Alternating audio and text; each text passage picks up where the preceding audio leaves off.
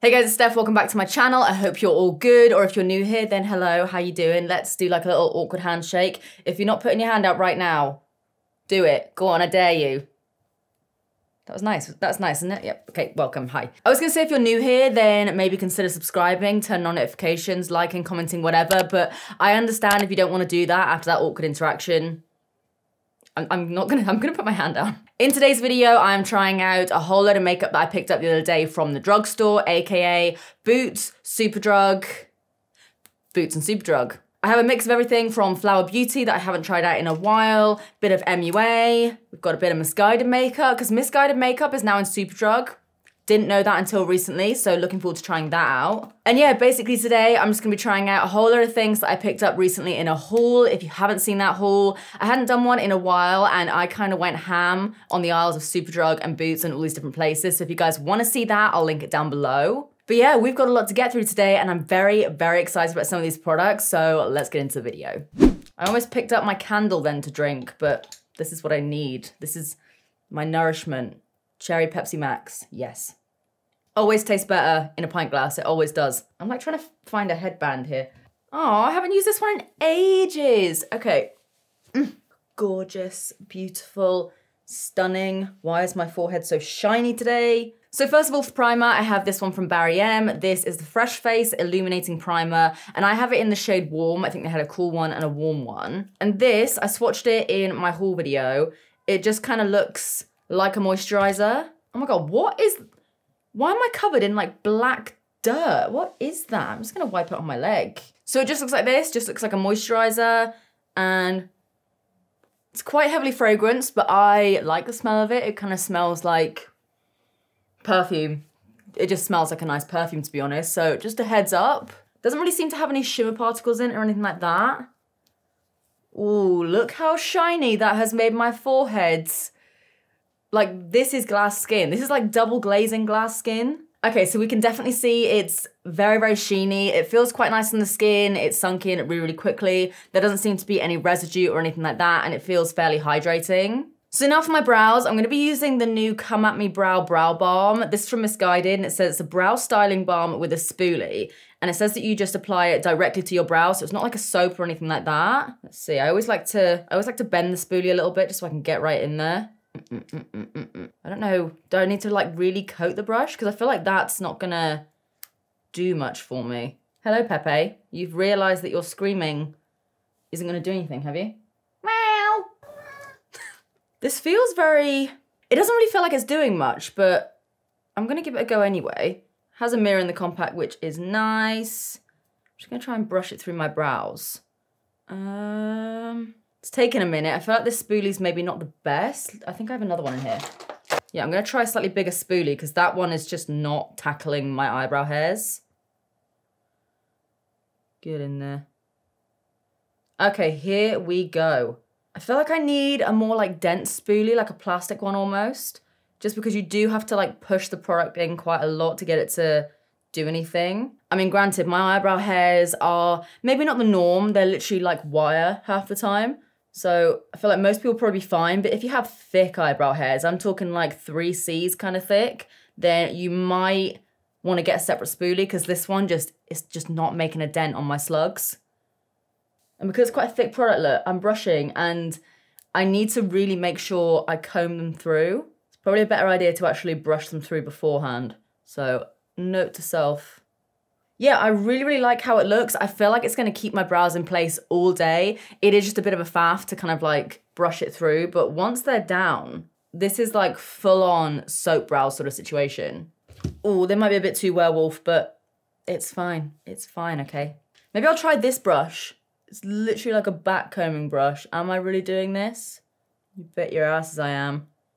Why is why is this brush working better than an actual eyebrow brush? Like I actually need my eyebrows actually need to, to calm down. Do you know what? I like that this just feels literally like a balm to my brows. I don't know how else to explain it. It doesn't feel crispy, doesn't feel soap-like. My brows feel like they can still move, but they're not going to because they're just sort of like gelled in the right place. I do feel like this spoolie isn't enough, and I do also kind of feel like a bigger size spoolie isn't enough. You want something that's a little bit more sturdy to actually maneuver the product. But yeah, into that, I just need to figure out like the best way to apply it and just like get it through these forests on my forehead. So now for my base, I have this foundation here from Maybelline. I've tried the Superstay before, but this is a Superstay Active Wear.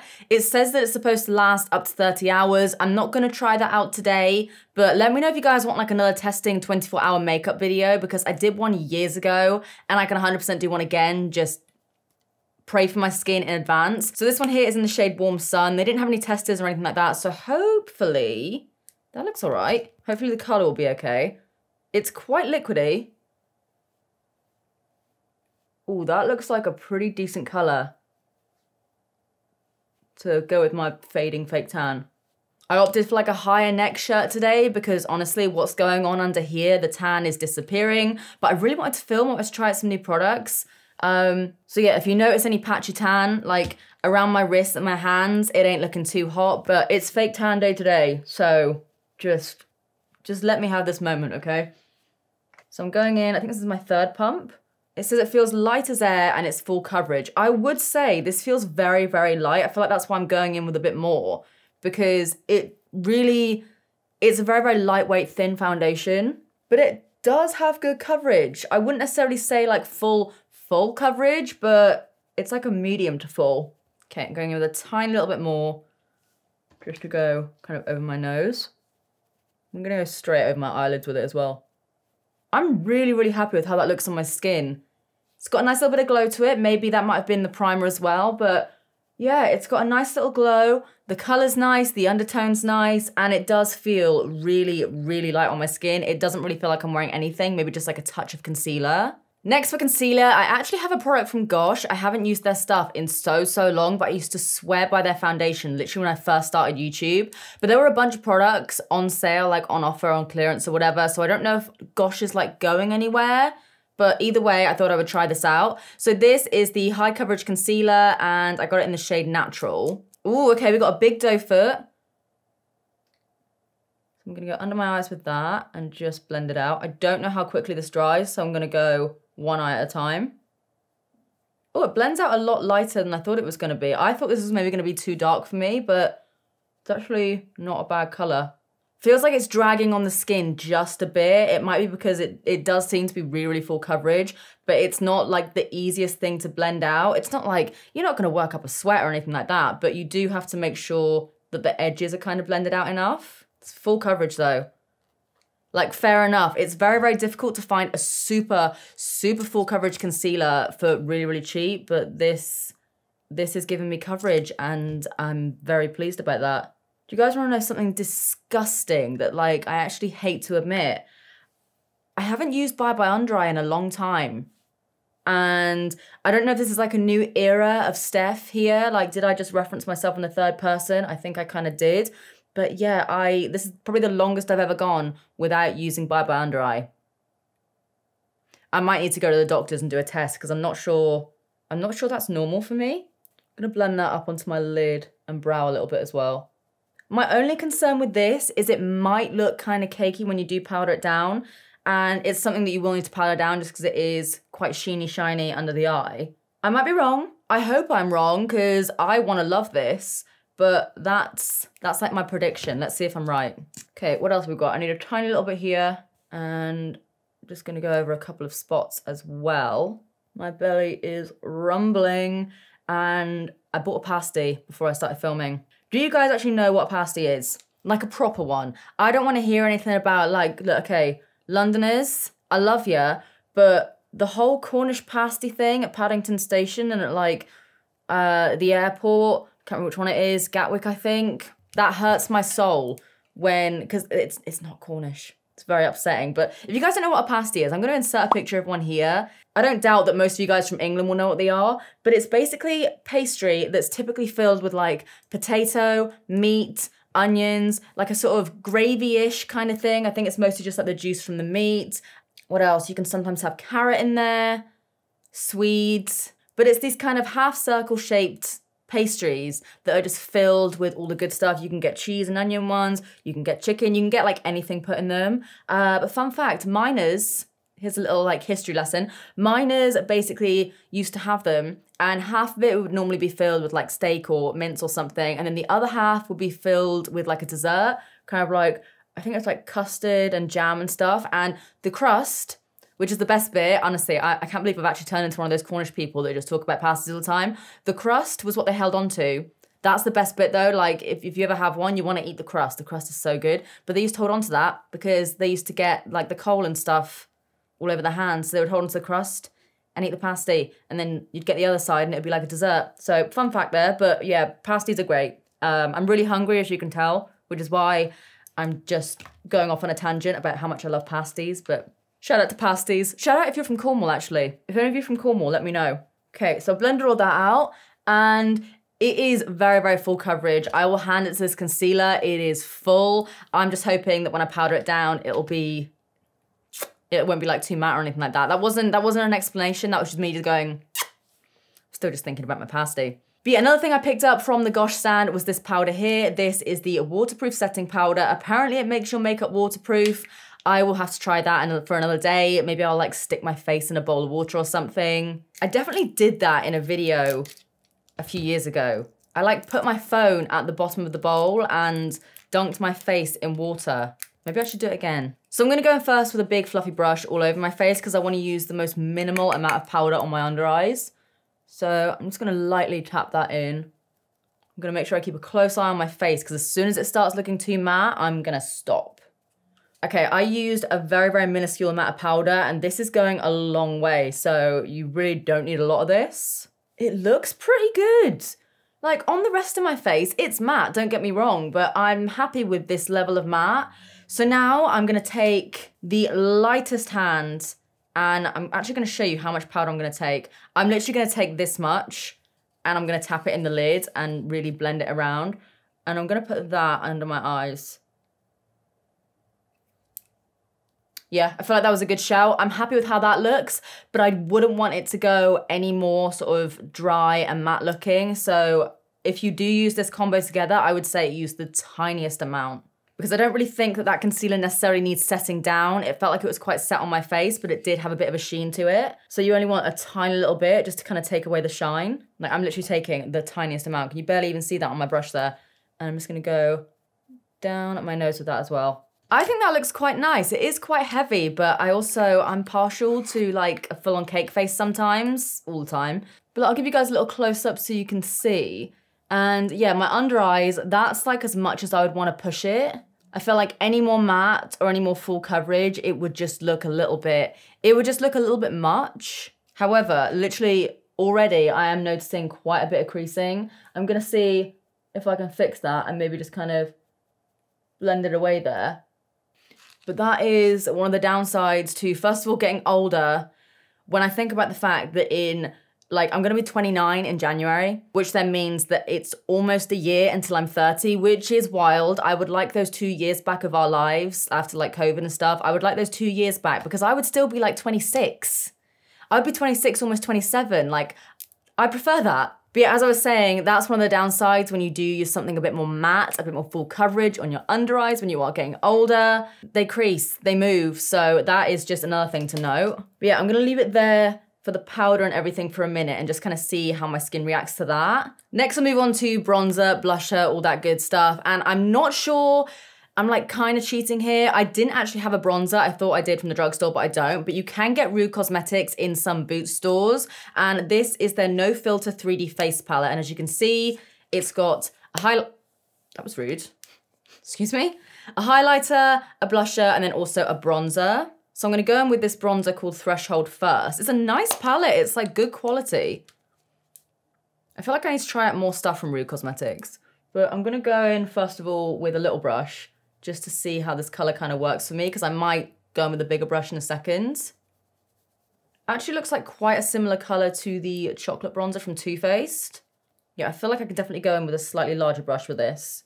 I'm just gonna focus it just in there, just to give me some cheekbones that I don't really have.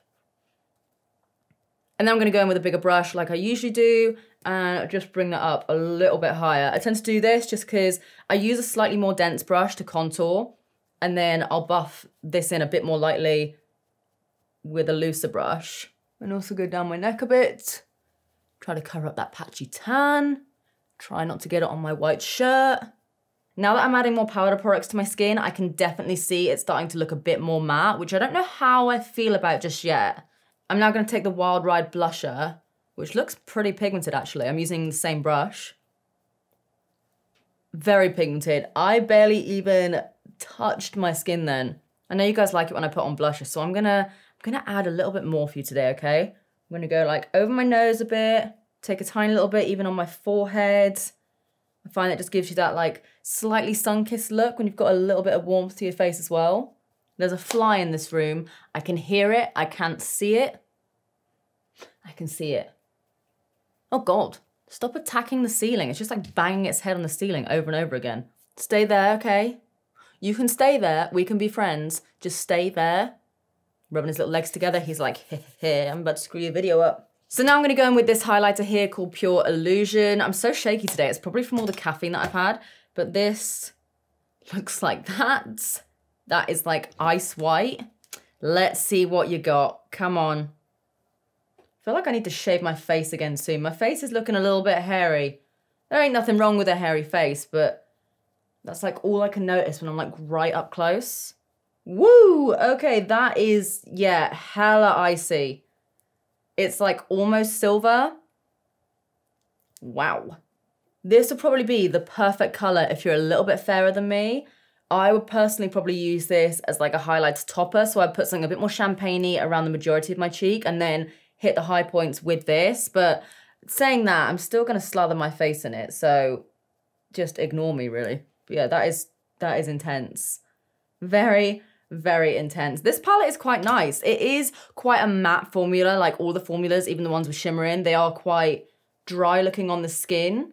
But that's fine because now I can go in with this stuff here, the Light Luster Shimmer Spray from MUA. So you can see it looks like this, and then you give it a shake, and it looks like that. So it's very similar to the Iconic London one. They had three different shades. They had one that was like more bronzy than this, and they had one that was more like silvery pink. The smell of it, it's quite faint, but like in the bottle, it smells like something I had when I was literally a kid. But yeah, looking a little bit matte right now, apart from the intense highlighter on my cheeks, but hopefully this will be able to add a little bit of hydration to my face.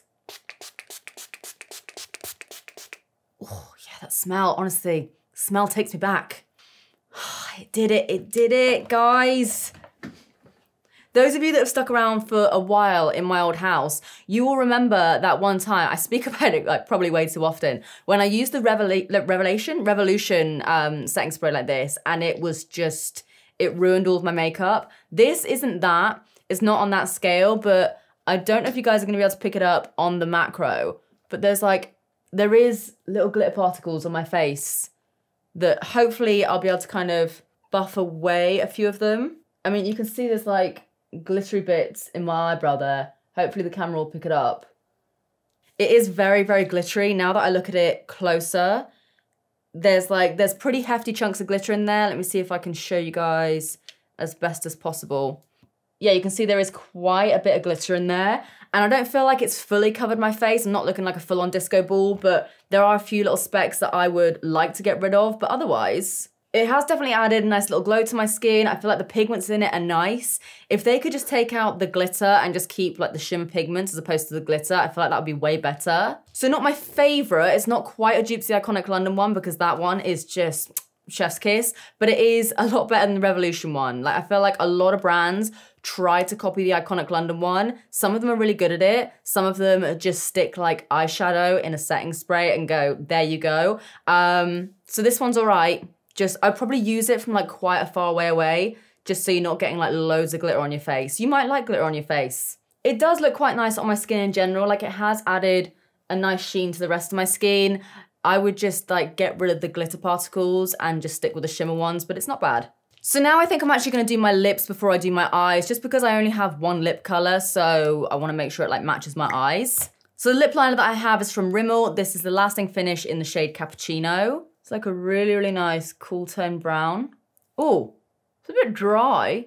It's like mildly scratching my lips as I use it, but the color's nice. Yeah, the color's nice. It's quite pigmented. It's just a little bit scratchy. It's probably better actually to put a little bit of lip balm on. Next time I use this, I'm definitely going to put lip balm on beforehand because it is just a little bit dry. But yeah, I do really love the colour. I'm just going to fan that in my lips a tiny bit. It's so scratchy.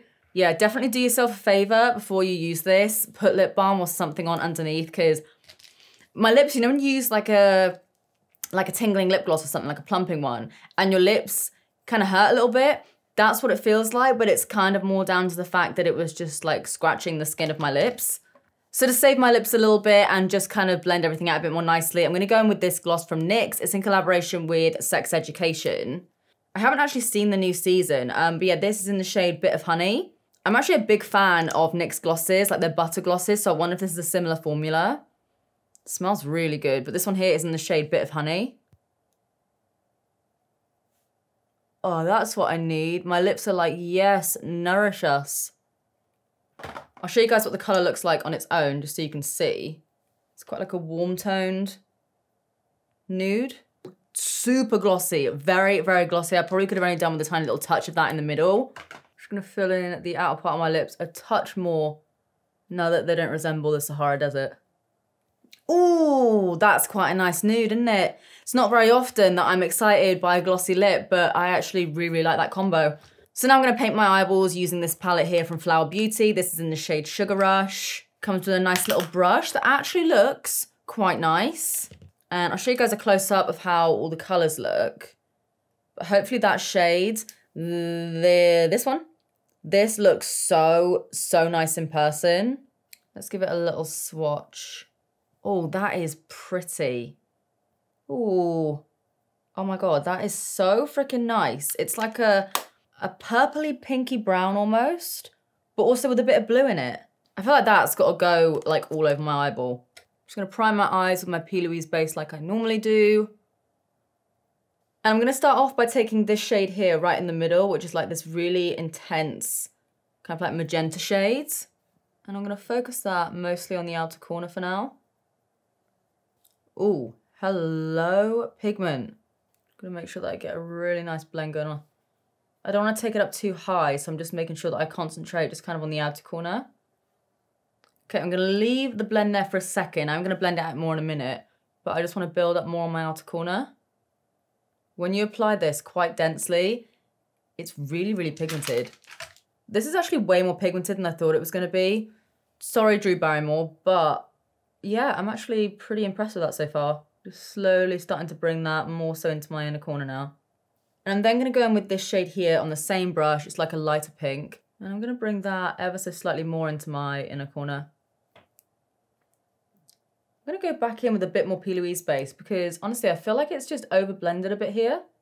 That is one of the best things about the P. Louise base though, is that you can just kind of put it back over the top and it does just sort of fix everything. And I'm going to start to fan that upwards a little bit. I feel like my brows are like looking a bit sad. I wasn't actually planning on doing any kind of cut crease or anything, but screw it, let's do a little half cut crease.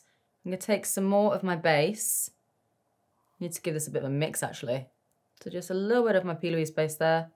And I'm gonna whack that on my lid, give myself a little look around, and then fill that in. And then again, I'm just gonna tap the edges of that in with the brush that I first applied it with. Then I'm gonna go in with the hero color in this palette. I am so excited for this. I hope it's good. See what you got. Come on, please be good. Please be good. Oh, why is it doing that?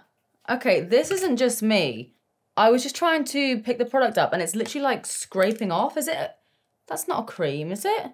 It feels more emollient than the other shadows, but it it's a powder. It's not a cream.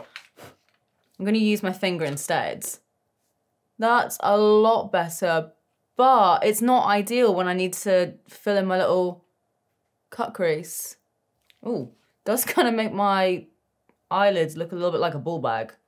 I'm going to take the brush that I was actually using for my cut crease to see if I can pick up the products better when it's wet.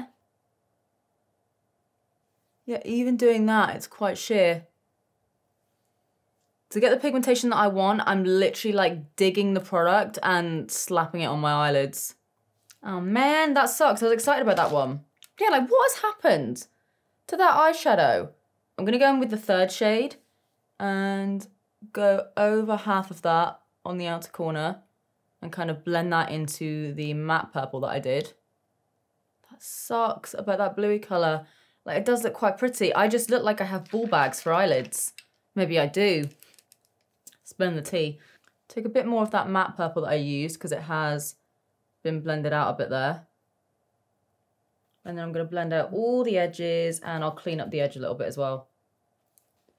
Yeah, that's a shame. I don't feel like I'm loving that as much as I wanted to. I'm going to take some of the second shade here, just in this little pencil brush, and this is doing the same kind of thing. Crease-free formula. Say that to my ball bag eyeballs. Say it. Say it to their ball bag faces. Crease-free. Oh my god, this fly is driving me crazy. I'm to take a tiny bit of that second shade and put that in the inner corner. I'm having to just like layer up quite a lot and you know, the P. Louise base makes everything pop even more. I went in three times with that inner corner. I'm to take the first highlighter that I used, the really icy one, and see if that looks better. That's so much more intense. Yeah, I don't think I'm much of a fan of that Flower Beauty eyeshadow palette, to be honest. You know, it, it does the job. It's like, if that's all you've got, you'll be all right. You know, your world's not going to end. But yeah, not really Maybe that's why I don't really hear too many people talking about it. Because it's not, it's not that great. Yeah. Then I'm just going to go in with this brown shade on my under eyes. Honestly, these eyeshadows are a bit of a mess. I was like, I really wanted to love this. But like, there's, there's a lot of kickback and not, I mean, this brown's quite pigmented, but all the other colors, like, not that great. Yeah, I'm not really the biggest fan of that, I'm not gonna lie. Hopefully Flower Beauty can redeem themselves now because I also have one of their mascaras to try out. This is the Lash Warrior. Packaging is cool. It looks like this. We've got a big chunky plastic wand. Come on, can you redeem yourself, Flower Beauty? Give it a nice little wiggle in my lashes. Oh, that gripped it then. That was a nice little feeling. When it does that, like when a mascara kind of like pulls at my lashes a little bit, I'm like, okay, you mean business. Cue me getting a million bits of mascara on my eyelid. It's fine. That's why I go off camera so I can clear up all the things that I can't see. Because if I put a if I put my mirror up like this and actually do my mascara how I would normally, you guys can't see shit. So I have to like try and do things from far away and then sometimes when I come back and sometimes when I look a lot better, it's just because I've actually been able to, you know, see my face. Fair enough, that is quite nice. I would like maybe a little bit more length on the outer corner. I was trying to build it up there, but it wasn't really doing much, but I am pretty happy with that. I'm gonna go on my lower lashes as well.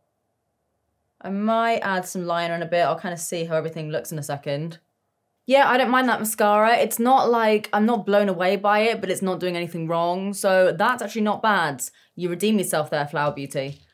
So now for my lashes, I'm going to go in with these brand new ones from Kiss. These are the My Lash but better ones, and these are in the style So Real. And you can see they just look like this. So what I'm going to do, which is what I normally do with lashes anyway, I'm going to cut off the ends and just turn them into like three quarter length ones, just to sort of lift my eye up a little bit. It says they have a super fine band, and to be fair, I mean, you can obviously see where the lashes start, but you can't really see the actual band itself. So yeah, I'm very intrigued. So yeah, I'm gonna go off camera, add some lashes, do the other eye, and then I'll check back with you guys for the final look. All right, guys, so this is the finished look, and I kind of take back some of the things that I said because now I put a tiny little bit of the, um, my words have gone, liner. Why was that so difficult? Now that I've put a little bit of liner on my inner corner and I've added the lashes, which I am obsessed with, I actually quite like this look. There's a couple of things I would like to change. Like it is a little bit speckly from the glitter, which isn't ideal. Like you guys won't be able to see it, but I, it just annoys me looking at it close up. The brows, I was really kind of into the brow product at first. I don't know if it's because I used it first. Maybe it would help if I used it like as one of the last steps, but my brows haven't really stayed in place and I haven't touched them or anything. And I can't move my eyebrows that much. Like because I have Botox and stuff. So like this is the only movement I've actually got in my eyebrows. It's not like I'm like wiggling my eyebrows all over the place. I'm sure a lot of you think my eyebrows look better like this and I respect your opinion, but I want them like scraped up onto my forehead. So yeah, that's a bit of a bummer. I will try it again and let you guys know how I get on in the comments down below, as well as everything else in this video. But yeah, these lashes, I am obsessed with them. I'm not very good at doing lashes. It's probably one of the things that I'm worst at in regards to makeup, but I put these on so quickly. I squished them into my own lashes and it was like no fuss, no faff. You can't see the band or anything. Like you literally cannot see the band. I can't wink with this eye. Can you guys wink with both eyes? Like this is the best I can do. It's not the most attractive. I'm like, this side I can just, hey. But this side I'm like, all right. I once got hit in the face with a shoe and I've always kind of felt like that's the reason why I can't. But I got hit in the face with a shoe on this side. So it actually doesn't make any sense, but that's my reasoning. It's not because I'm incapable, it's because injustice. But yeah, overall, I am pretty happy with how this makeup turned out now that everything is sort of all finished. I like the lip products. I actually, again, can't, can't wink. I actually quite like how the look turned out now that I've got lashes on and liner and stuff. I actually really like the base as well. That's why I don't tend to have too much of an opinion when I am doing my base at the start because now everything's sort of meshed down into my skin. It looked super matte but now it has like a nice little glow to it. It's settled into my skin a lot more and I actually really, really like it. As always, guys, let me know what you think of this makeup look in the comment section down below. I have a hair in my mouth. If you enjoyed this video, please hit the like button and give this video a thumbs up because it really, really does help me out a lot. And also subscribe if you do want to see more of me because I upload all the damn time and only half of my viewers that actually watch my videos are subscribed. So just like imagine, imagine if like everyone that actually watched my videos and liked them subscribed. Imagine. Let me know what other brands you guys want me to review in the comment section down below or if there's any other products in particular you want me to try because I'm always down. But apart from that, that is it from me. I love you guys and I will see you in the next one. Bye.